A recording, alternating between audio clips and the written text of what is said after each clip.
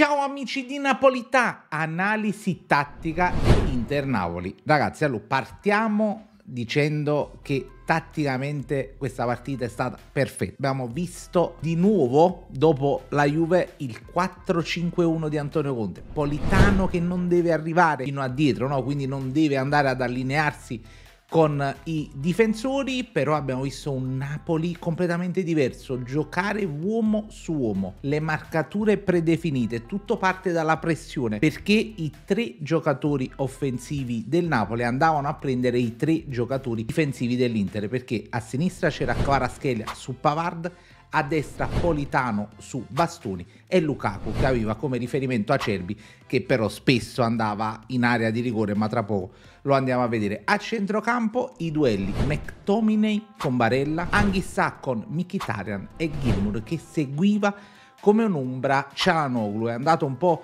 a cercarlo per tutto il campo fino a quando però l'Inter ha iniziato a fare tantissimo calcio relazionale perché raga il risultato è buonissimo. Il Napoli resta prima in classifica ma di fronte ha trovato una squadra che è fortissima. Infatti soprattutto dopo il gol inizia eh, il super calcio relazionale di Simone Inzaghi che portava praticamente i giocatori ovunque. All'improvviso trovavamo Pavard a sinistra di Marco che veniva ad associarsi anche lui sul lato destro, comunque un movimento veramente importante dei giocatori dell'Inter, ma il Napoli è stato bravissimo ad assorbire. Bene in fase difensiva, bene in fase di assorbimento, ci sono due errorini sul gol, ma soprattutto sull'inserimento che vi dicevo prima di Acerbi che va a chiudere un'azione dove Meret però si fa trovare pronto. La cosa importante che però dobbiamo dire è che il Napoli eh, crea bene anche nel primo tempo, il primo tempo bene anche nella fase offensiva, però c'è ancora qualcosa da migliorare eh, sulla zona di rifinitura e sulla finalizzazione, perché il Napoli ha trovato trovato anche un'altra soluzione per questa partita per quanto riguarda la costruzione dal basso, ma questo lo andiamo a vedere tra pochissimo. Iniziamo vedendo questo 4-5-1 precisissimo, qui ve lo fermo proprio nel momento giusto. Gira palla l'Inter e c'è questo 4-5-1 precisissimo dei giocatori del Napoli con Lukaku che ovviamente è l'ultimo terminale che balla un po' no?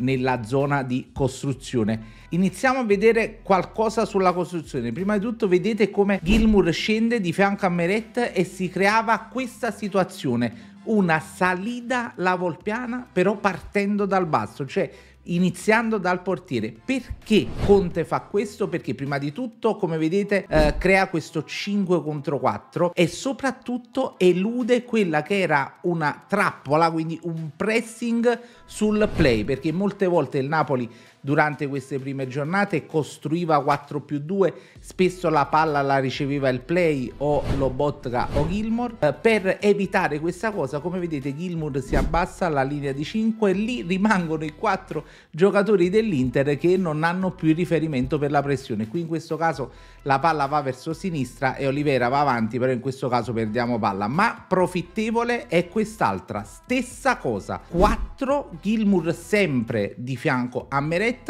e vi ho messo in alto di Lorenzo no? perché è il giocatore che è importantissimo perché in quel caso è il terzino fissatore che si va ad aprire e va a costruire ancora questa linea di 5 qui ancora una volta i quattro giocatori dell'Inter che vanno a vuoto perché non hanno i riferimenti e da qui esce una bella azione raga perché la palla passa proprio tra i piedi di Gilmour che apre in avanti, quindi va di fianco uh, con il suo compagno, in avanti subito e qui c'è un'ottima azione eh, di Lukaku che va su Anghissà, Anghissà apre da quest'altro lato su Kvaratskhelia, avete visto come partendo con questa costruzione arriva il primo tiro, quello lì che Kvaratskhelia purtroppo dà uh, tra le braccia di Sommer, però come avete visto cambiamenti anche in base a quello ovviamente che è la struttura di pressione dell'Inter, quindi bene bene. Andiamo a vedere invece il gol del Napoli, perché se per qualcuno quel gol è casuale, non è mai casuale. Vi faccio vedere proprio dalle immagini eh, nulla è fatto a caso. Prima di tutto super blocco perché eh, l'Inter difende a uomo, lascia proprio due tre giocatori in zona, però quella zona che è assolutamente attaccabile. Come vedete vi ho messo tutti i calciatori no? del Napoli che attraggono tutto il blocco dell'Inter dall'altro lato della porta, quindi il lato opposto a dove si batte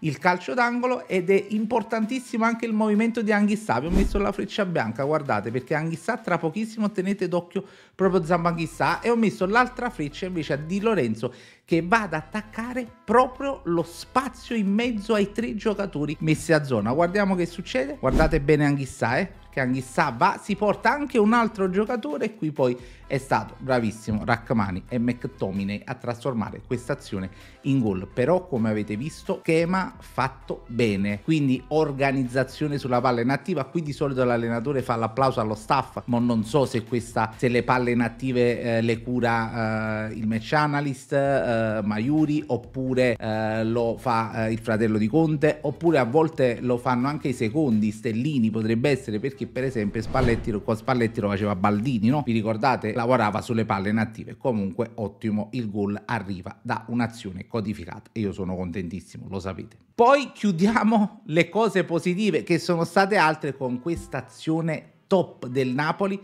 perché vi voglio far vedere anche una cosa importantissima. Qui la palla arriva a Rachmani, benissimo la palla in verticale, guardate come taglia tutto il campo, McTominay di prima, Lukaku che apre su Kvaraschelia e qui dobbiamo per forza fermare perché che cosa succede? Qui siamo al 32esimo, raga, dopo il gol. Guardate quanti giocatori stanno andando ad attaccare la porta di Sommer. E questa è un'azione manovrata eh, perché Rachmani va in verticale, buona la sponda di Lukaku, si apre questa azione e qui come vedete ci sono Quaraschelia che ha il pallone, poi c'è Lukaku, Anghissà, Politano e McTominay contro i quattro giocatori dell'Inter. Raga, questo è ottimo, eh. Sviluppo, però guardate che succede nella zona di rifinitura, perché Quaraschelia che mantiene palla va al centro, purtroppo qui Anghissà sbaglia, viene anche recuperato benissimo da Di Marco, eh, che, perché poi anche loro tornano ferocemente indietro. Comunque, come avete visto, anche questa è un'azione positiva perché nel primo tempo il Napoli poteva assolutamente fare un altro gol, poteva quasi chiudere la partita, anche se poi il secondo tempo era durissimo perché l'Inter è una squadra forte. Andiamo a vedere purtroppo le cose negative. Iniziamo a vedere prima di tutto vi voglio far vedere questa azione di Acerbi perché questa azione di Acerbi eh, ti fa capire che in questo momento il Napoli non è proprio prontissimo a questo passaggio al 5-4-1 ma perché? Perché purtroppo eh, nel quarto di là c'è un giocatore che è offensivo, non è prontissimo ad assorbire quelle che sono determinate giocate perché non ha neanche la postura difensiva e tutto si vede in questa azione perché guardate qui Politano dovrebbe seguire Acerbi perché in questo caso Acerbi si sta sostituendo come costruttore al terzo di difesa perché Politano vi ricordate ha il terzo di difesa era Bastoni quello che doveva andare a seguire. Ma in questo caso visto che Acerbi quello che si sta inserendo deve seguirlo Politano no? perché ovviamente ci sta la marcatura uomo su uomo però è anche uomo nella zona. Cioè se tu hai un riferimento lo devi seguire fino alla fine. Guardate cosa succede appena va avanti l'immagine. Come vedete Politano a un certo punto si ferma si ferma, guardate l'ho messo nel cerchietto rosso perché lui qui doveva proseguire, doveva almeno andare a leggere quella linea di passaggio che in questo caso Anghissa invece deve andare ad accorciare su Barella perché lì si fa proprio così, uno segue e un altro scappa in avanti, è proprio regola tattica, uno segue e uno scappa uno segue e uno scappa. Questa cosa la fanno ripetere a loop negli allenamenti anche per capire quali sono i compiti e qui c'è l'errore perché entrambi scappano e qui resta sto spazio enorme che arriva a Cerbi e qui c'è una grande parata di uh, Meret. Poi arriviamo al gol, perché sul gol si sono dette tantissime cose. Io in prima battuta ho dato responsabilità a Gilmour, però secondo me qui, al di là di Meret che poi ne andiamo a parlare, però qui bisogna fare un'analisi approfondita. Prima di tutto l'Inter qui è bravissima a portare la palla da un lato all'altro, perché questa azione io ve la faccio vedere appena è arrivata a sinistra, ma eh, questa azione parte da destra perché era il momento in cui l'Inter stava facendo appunto calcio relazionale. Che cosa succede però? Succede che l'Inter per la prima volta riesce a creare quel quadrato, no? il quadrato, quello che riusciva a fare anche l'Atalanta e lo ha fatto spesso contro di noi. Per la prima volta al 42esimo ci riesce. Guardate che cosa succede. Ancora qui un po' pigropolitano che come riferimento non sta neanche male. Però come vedete Qui ci sono due giocatori del Napoli di fronte a una scelta e ricordatevi sempre quando i giocatori vengono messi di fronte a una scelta vuol dire che tatticamente hai fatto la mossa giusta. Perché Di Lorenzo qui non ha l'aiuto di Politano che ovviamente quando scende l'Inter a manovrare anche se è 5-4-1 deve scendere a dare una mano al suo compagno. In questo caso un po' lento, un po' alto, non va forte neanche sul riferimento e si creano questi due giocatori con due scelte. Di Lorenzo che non sa in questo momento se andare su Di Marco o stringere alle spalle su Mkhitaryan e la stessa cosa succede a Gilmour, perché qui Gilmour non sa se andare sul suo riferimento base che è Cialanoglu, quindi deve andare a provare a schermare il tiro di Cialanoglu o purtroppo a Mkhitaryan a fianco. Lui è un giocatore che ovviamente al di là di quelli che sono gli incarichi del mister ha ovviamente le sensazioni, ma non solo lui, ce l'hanno tutti i calciatori. Ma in questo caso eh, il punto della situazione è Anghissà, perché io Anghissà l'ho messo sotto al cono di luce.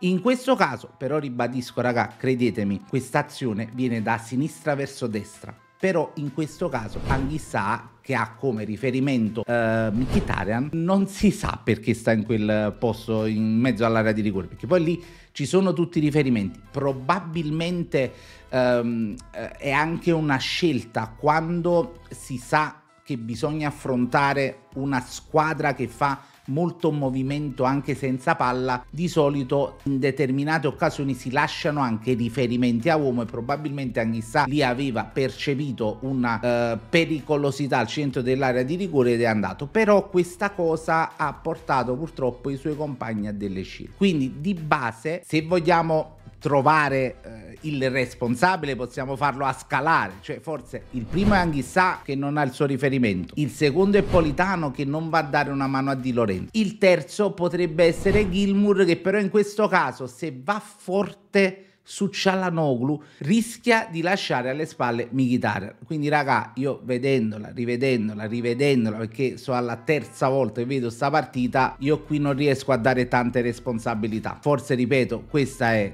Anghissà, Politano e un po' Gilmour, ma Gilmour lì se va forte verso Cialanoglu, Cialanoglu è il giocatore che gli dà proprio sul corridoio la palla a Mkhitaryan con semplicità. Quindi è questa la mia lettura. Avete visto i punti interrogativi sui due calciatori e ripeto, quando succede questa cosa, chapeau alla squadra avversaria perché ti mette di fronte a una scelta e poi sei due contro uno e devi cercare qual è la mossa che ti può fare meno male. Proseguiamo con l'azione, come vedete poi Gilmour ha un po' di sensazione, ci prova, cerca di andare, ma Cialanoglu tira questo missile. Ora andiamo un secondo a parlare di Merelli. Io ve la faccio vedere da qui, vediamo la prima immagine.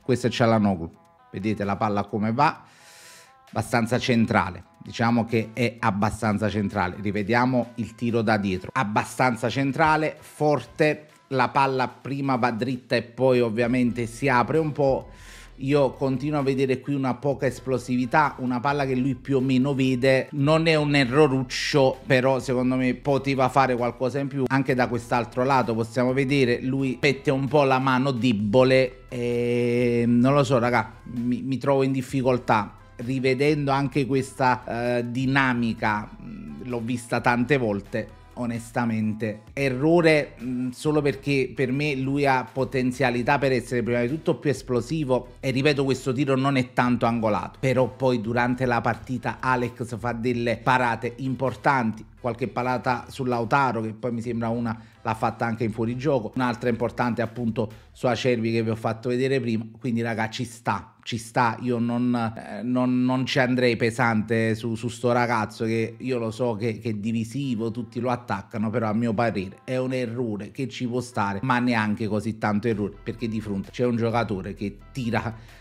questi missili. E poi l'altra cosa che posso dire forse meglio la prossima volta studiare un po' di più quelle che sono le caratteristiche di un giocatore come Cialanoglu perché spesso fa questi tiri spesso tira con questo mezzo esterno e allora magari forse la prossima volta che lo incontrerà Alex sarà un po' più pronto. Chiudiamo questo video raga con una giocata del, del gigante perché, perché, il Napoli ha un muro. Che Alex buongiorno. Qui sbaglia Gilmour purtroppo con troppa semplicità. Poi cerca di mettersi avanti a Turam e guardate con che semplicità. Buongiorno. Prende questa palla. Poi prende anche fallo qui che ovviamente non, nessuno fischia non succede niente Comunque, questa è la giocata che deve per forza chiudere questo video.